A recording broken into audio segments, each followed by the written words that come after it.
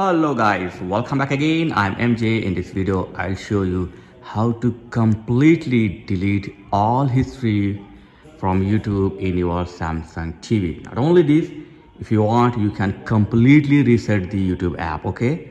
So first thing, open your YouTube app in your Samsung TV and then go to this setting, open the setting.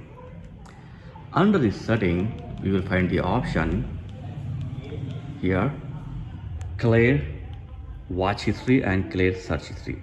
So select the watch history first and then simply do the clear watch history okay? And after this select the clear search history and clear the search history okay?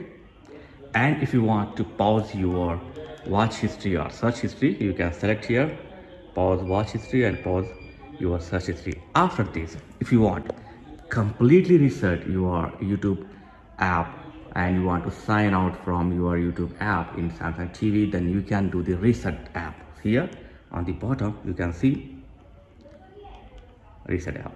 So select one, reset, and simply select the reset.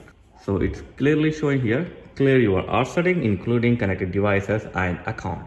So this will completely log out your all sign in accounts and this will uh, delete your some setting so you need to re-sign in once again. So this will be completely reset your youtube app as a factory default. Select it and reset it. And after this simply click on reset so this will reset your youtube app completely okay? So like this you can delete watch history search history and completely reset youtube app in samsung tv so thanks for watching guys. Catch you next time. Please like share and subscribe. Thank you very much guys